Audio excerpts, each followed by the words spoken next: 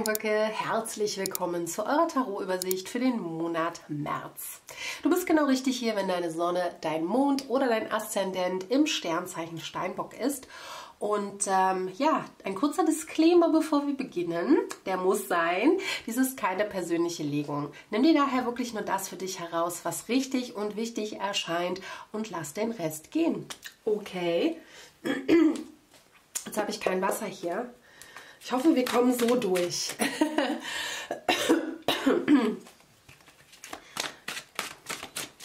so, für den März. Schütze. Was ist wichtig für Schütze? Was soll Schütze wissen? Worauf soll er sich vorbereiten? All das, was wichtig ist. Wir haben die vier der Kelche. Also vielleicht etwas Langeweile im März. Vielleicht weißt du auch ein Angebot ab. Steinbock. Mhm. Ja, also ich glaube, du stehst in hoher, ähm, in High Demand. Wie heißt denn das? Also du bist gefragt im März, okay? Du bekommst sehr viel Kommunikation. Das kann im Beruf sein, das kann äh, im Job äh, habe ich schon gesagt, ne? es kann im Job sein, es kann ähm, in einer Gruppe sein, es kann im Freundeskreis sein oder in der Liebe, ja, ist für jeden anders. Und ähm, es kommen sehr viele Anfragen hier für dich, okay? Wenn du ein eigenes Business hast, wenn du ein eigenes Geschäft hast, dann ja, Daumen nach oben. Also du bekommst so viele Anfragen von Kunden oder Klienten oder was auch immer, dass du Angebote ablehnen musst. Also dass du wirklich sagen musst den Leuten, tut mir leid, ich habe keine Kapazitäten mehr in den nächsten Wochen, Monaten. Okay? Also da kommt sehr viel rein.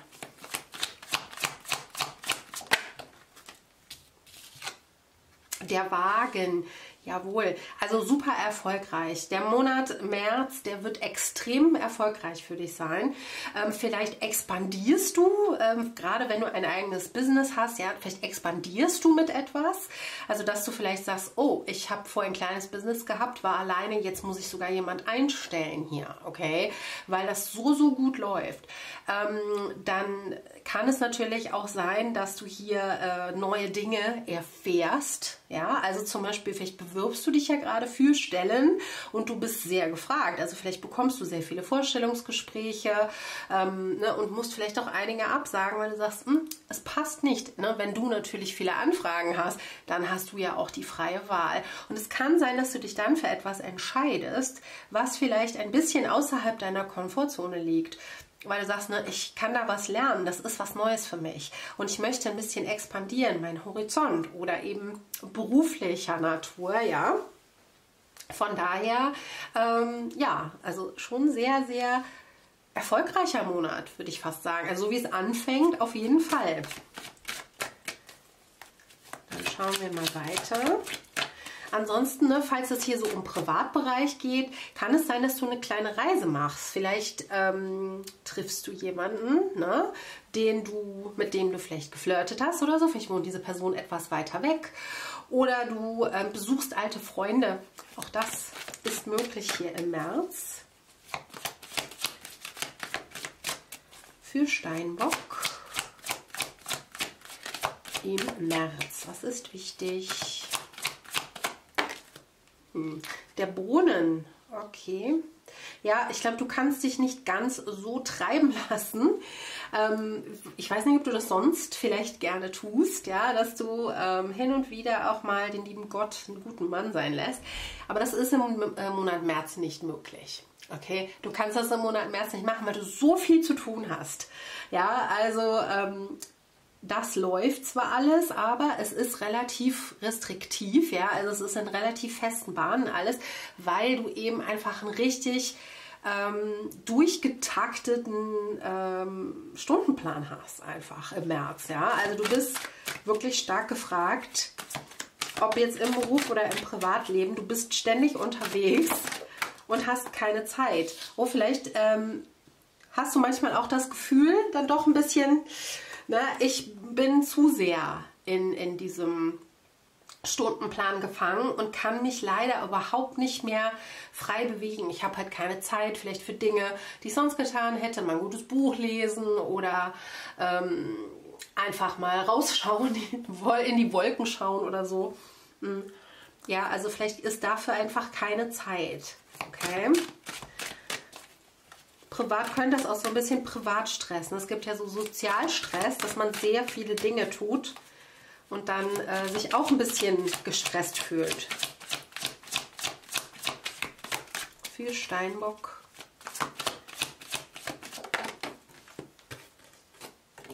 So. Uh, wir haben die 10 der Schwerter.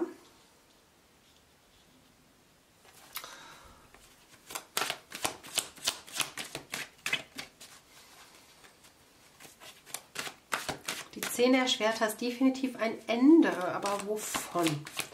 Vom Schmerz? Inwiefern fühlst du den Schmerz? Okay, schauen wir mal.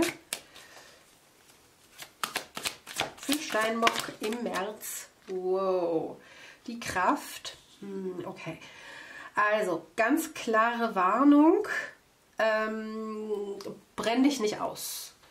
Okay, also auch wenn es sehr, sehr gut, also sag lieber einen Klienten mehr ab als äh, zu. Okay, auch wenn du denkst, im Moment läuft es so gut, ich muss alles mitnehmen. Oder auch freundesmäßig oder romantisch oder wie auch immer. Also äh, nimm dir Zeit für dich selber, denn du könntest tatsächlich in so, ein, so eine Art Burnout kommen und das wollen wir auf keinen Fall. Also sobald du merkst, so, hm, das ist mir einfach ein bisschen viel, tritt die Bremse. Okay, das ist sehr, sehr wichtig im März. Dann sag lieber ab vorher, ja, wenn jemand anfragt oder so oder dich einlädt, dann sag lieber vorher ab, weil du sagst, äh, ich brauche mal einen Tag für mich. Das ist völlig okay als vielleicht ne, dann hinterher abzusagen, das macht dann vielleicht einen schlechteren Eindruck. Aber wenn es nicht anders geht, mach auch das. Die Liebenden auf dem Kopf. Ja, also gib auf jeden Fall viel Energie in dich auch. Ja, also gib nicht so viel, also, ne, es, also halte ich auf jeden Fall an das Prinzip der Königin der Kelche. Die ist jetzt nicht hier, aber dennoch, das ist ein gutes Prinzip für dich. Die Königin der Kelche gibt nur, ich weiß nicht, ob ich sie jetzt vielleicht finde, ach, da ist sie direkt. Sie sollte für dich kommen, okay? Die Königin der Kelche, ich weiß nicht, ob du das siehst, sie hat hier den Kelch und dann hat sie hier so eine Schale und sie füllt in den Kelch und das, was aus dem Kelch in die Schale läuft, das gibt sie an andere. Niemals aus ihrem Kelch. Ja, also schau, dass dein Kelch gefüllt ist, weil sonst droht ein Burnout. Also wenn, ne, wenn du Dinge gibst, wenn du deine Energie hergibst, dann nur die überschüssige Energie, niemals von deiner eigenen ähm, Energie oder von deiner eigenen Selbstliebe und so weiter. Ja, das ist ganz wichtig in diesem Monat. Weil, wie gesagt, die Liebenden ist auch Selbstliebe. Wir haben das auf dem Kopf. Du gibst dir nicht genug ähm, Freiheit. Ne? Du bist immer da für andere. Aber du musst auch für dich selber schauen. Ne? Wo, wo kann ich mir was Gutes tun? Wo kann ich mir die Dinge erleichtern? Ne? Also das ist sehr, sehr wichtig im Monat März. Okay? Uh. Ja. Wir haben die fünf der Münzen. Ansonsten ja. Ansonsten droht dies. Ja, ich meine, die Herrscherin ist am Boden des Decks. Das ist eine Energie, ne? es ist eine sehr feminine Energie, klar, es ist die Herrscherin.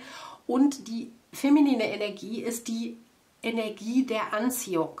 Die, Energie, äh, die Herrscherin, die geht nicht auf die Jagd und sucht das, was sie will, sondern sie zieht es an. Und das ist vielleicht jetzt hier der März so eine Aufforderung, so eine kleine. Schau dir das Energie der Anzie äh, das, ähm, Entschuldigung, das Gesetz der Anziehung an. Das könnte für dich sehr hilfreich sein, denn ähm, ich glaube, du bist zu sehr in der maskulinen Energie. Also du gehst zu viel, du machst zu viel, du tust zu viel, du hörst nie auf. Und das funktioniert auf Dauer nicht. Das muss immer im Gleichgewicht sein. Ne? Ansonsten fühlst du dich ausgebrannt, du fühlst dich leer, du fühlst dich verwirrt, ja, irgendwie alles ist foggy. Von daher bitte ähm, nimm dir Auszeiten. Wenn du magst, dann beschäftige dich ein bisschen mit dem Gesetz der Anziehung. ansonsten, wie gesagt, du könntest halt sonst wirklich ähm, da, da liegen. Na, wir haben ja nur die Zehn der Schwerter und könntest nichts mehr machen, weil hier sowas wie vielleicht eine Depression einsetzt oder ein Burnout oder so. Also bitte, bitte nimm die Zeit für dich selber. Okay? Gut, wir schauen jetzt mal auf den Pick-a-Pile-Teil, auf den Pick-a-Card-Teil. Wenn du eine Frage hast, dann stelle sie jetzt, halte sie in Gedanken, während ich die Karten auslege. Wenn du keine Frage hast, ist das kein Problem. Du darfst natürlich trotzdem, und doch möchte, du darfst natürlich trotzdem einen Pfeil auswählen.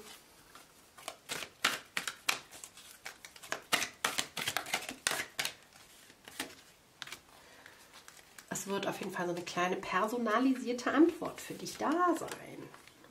Drauf gespuckt. so,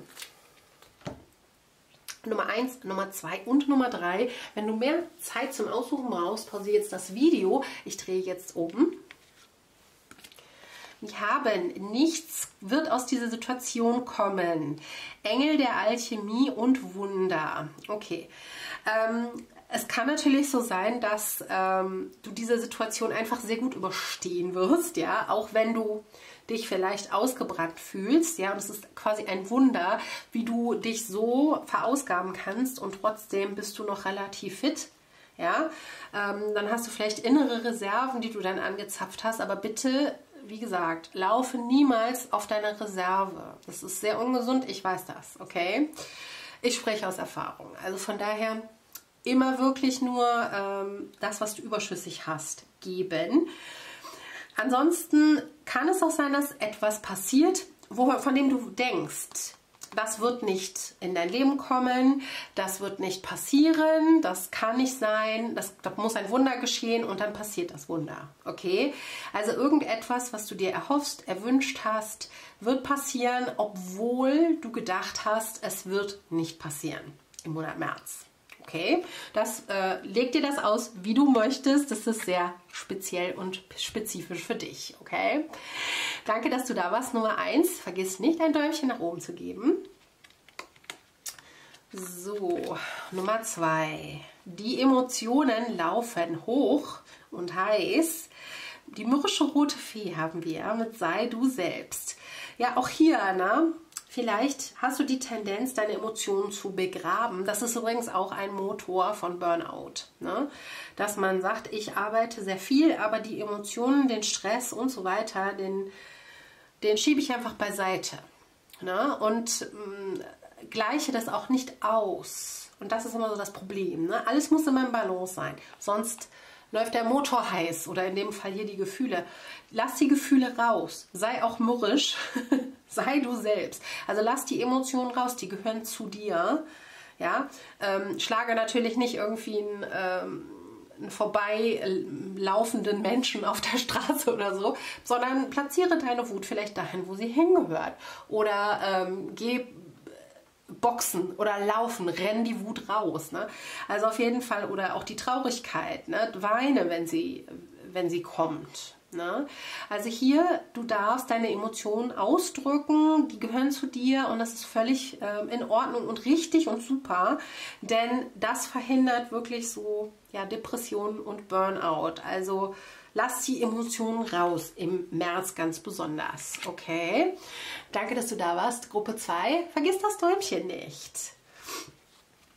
Und Gruppe Nummer drei, zeige der Welt das wahre Ich. Und das ist sehr ähnlich, ne? sei du selbst. Und wir haben den Tod und das Mädchen, Vereinnahmung, Grenzüberschreitung, Dominanz. Für dich kann es so sein, dass ähm, jemand hier ähm, dahinter steht, dass du dich so verausgabst. Zum Beispiel ein sehr dominanter Chef. Ähm, der dich quasi antreibt, antreibt, antreibt und du weißt nicht, wo du hin sollst, ja. Hier ist es eben, zeigt der Welt das wahre Ich. Du darfst dich auch auflehnen. Wenn vielleicht auch gehen, okay, also vielleicht ist das der einzige Weg, aus diesem Hamsterrad, aus dieser Position zu gehen. Vielleicht ist es auch jemand in deinem Freundeskreis, der hier sehr, ähm, sehr vereinnahmend und grenzüberschreitend ist ja, dann stelle dich dieser Person, zeig dieser Person, wer du bist. Du bist Steinbock, ja. Du bist das Erdzeichen, das am weitesten kommt. Okay? Und du musst dich nicht ähm, von irgendjemand dominieren lassen. Das hast du gar nicht nötig. Okay? Also stell dich dagegen, ähm, such dir vielleicht was Neues oder geh aus dieser Situation. Ja, du Vielleicht hast du ein Problem mit dem Selbstbewusstsein, das passiert schon mal, wenn man in solchen Situationen ist. Aber du hast es drauf. Okay, ja, dein wahres Ich ist genau das, was die Welt sehen soll. Okay?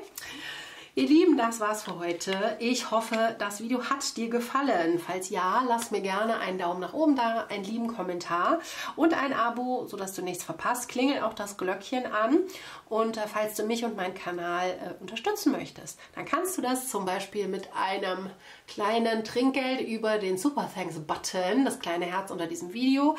Ansonsten gibt es noch Amazon und PayPal. Die Links und Infos sind in der Infobox und im angepinnten Kommentar. Und ich sage danke, dass du da warst. Wünsche dir trotz allem einen wundervollen März und hoffe, wir sehen uns ganz bald wieder. Bis dahin.